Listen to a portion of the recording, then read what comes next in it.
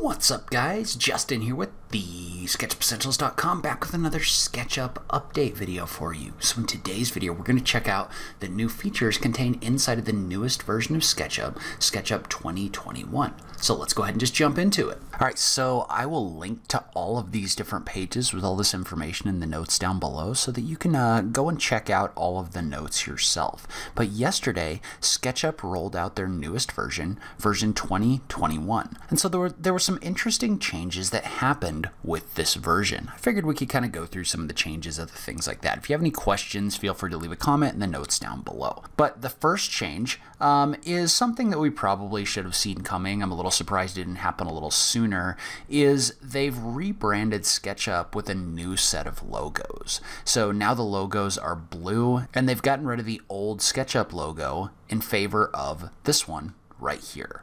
And so it's not really that surprising when you think about it. They've been with Trimble for a while, and Trimble's logo and their colors are all kind of a blue, so it's not really surprising that they wanted to switch the color. I'm a little bit surprised that they've switched the logo to something like this. Um, if you take a look at it, if you kind of zoom in, you can see that um, this has kind of an S in it and then a U, so SketchUp, and then also a 3D in here as well. So that's kind of the thought behind this new logo. So they've also changed the logos for layout, the 3D warehouse, all of their different uh, products in here as well.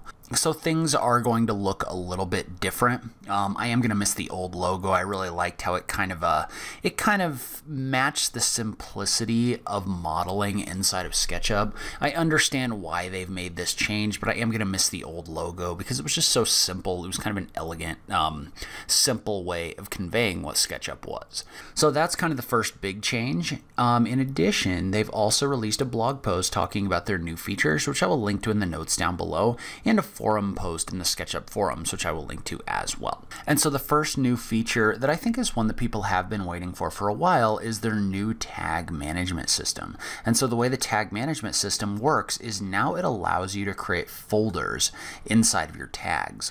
So I think this is a really great thing because up till now, you could have these giant lists of tags that you had to kind of like scroll through to get to what you wanted. Well, now what you can do is you can click on this button right here to add a tag folder.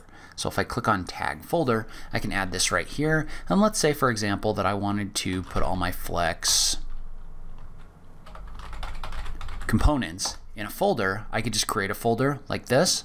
Well, then I could take these objects and I can drag them into that folder. And so the cool thing about this is this allows you to minimize and maximize them just like this, which really kind of gets rid of those old those old giant lists of tags. So one of the cool things about this is not only can you turn these on and off um, one at a time like this, you can also turn off everything inside of a folder just by clicking the I next to that folder. So you can see for my Windows, for example, I could either turn off the entire Windows folder or I could turn these off one at a time right? So that gives you a lot more control over the way that your tags um, the way that your tags control visibilities inside of your model. Now, I will note that I don't think this really changes too much when it comes to the way that we recommend setting up your files for layout with different visibilities.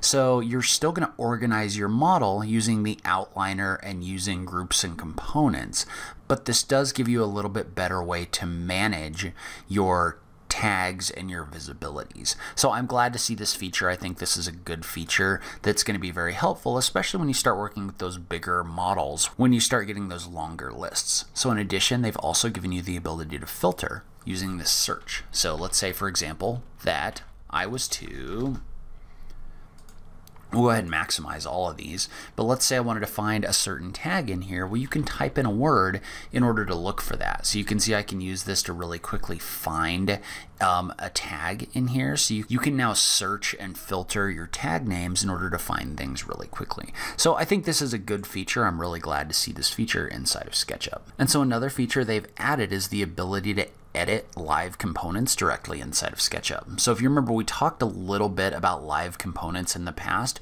These are the components that you can download and bring into SketchUp, and you can adjust just by adjusting different sliders and other things like that. So let's say, for example, that we were to bring in this shipping container. So I'm going to bring this in, and previously, if you remember, you, you had to configure this inside of the 3D warehouse window and then bring it into your model. Well, now you can download these into your SketchUp model like this, then you can right click on them and click on configure live component and you can configure these live components live inside of SketchUp.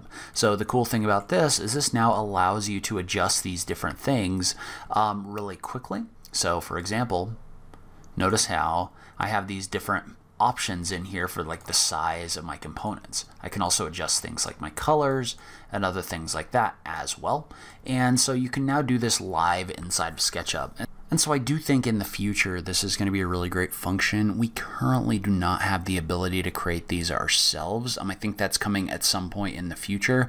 But for right now, I think this is really kind of a step in the right direction. These seem to be, um, I, I like these a little bit better than the dynamic component functions that we have in there right now. So excited to see where that's going to go. Um, but you can now edit those directly inside of SketchUp. So in addition, they've also released a new tool called Predesign. And so Predesign is a tool that you can use in order to do like site and energy analysis studies of different locations. So let's say, for example, that we wanted to create an office building, and I'll just call this office.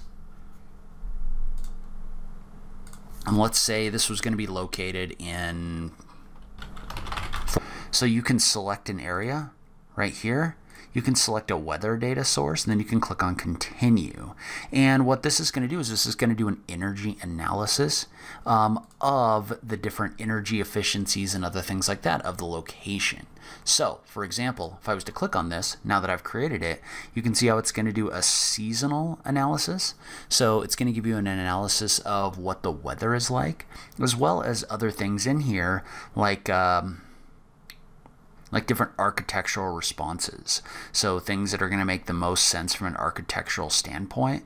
Um, you can see like how much time, for example, in different parts of the year, um, you would need to just provide shelter from the cold, um, take things inside, other things like that. So it gives you different options for looking at the energy efficiency of this location. And so I'm not a designer, so I don't know if this tool meets a specific need or not. Um, if this gives designers what they need, um, notice how you can adjust things like uh, your different uh, glazing locations and other things like that um, in order to get kind of an analysis of the way buildings would lay out. But again, I don't know. Um, I'll be interested to see how much this tool gets adopted. Um, it seems like it provides some good information, but I don't know if it replaces something that designers are doing or not. So in addition, there's some smaller changes. So for example, they've rebuilt the SketchUp file format. Um, they say that you can probably see a reduction in file sizes when saving to the new format personally, it feels like this is building on something in the future, but I don't have any information about what that might be. Um, I would definitely like to see a reduction in file sizes, but I have no idea if this does anything for performance or not. But um, if they're making the file format more efficient, then I think that's definitely a good thing. So they also have a couple smaller features. So for example, you can now download updates directly inside of SketchUp. So if you didn't like downloading those external installers, I think this is going to make it so you don't necessarily need to do that. Um, and they've also added a two finger pan and also pinch to zoom in layout on Mac. So they've expanded some of the navigation options inside layout on Mac as well. So that's kind of an overview of the new features contained inside this newest version of SketchUp. I'm also going to link to a blog post right here. This is where they made the official announcement of the new version of SketchUp. So if you have feedback or anything like that, that'd be a great place to leave it. Um, leave a comment below. Let me know what you think about the new version. Um, as always with these new feature update videos, uh, make sure to keep it civil in the comments down below. I'd appreciate that. If you like this video, please remember to click that like button down below. If you're new around here, remember to click that subscribe button for new SketchUp content every week. As always, thank you so much for taking the time to watch this. I really appreciate it, and I will catch you in the next video. Thanks, guys.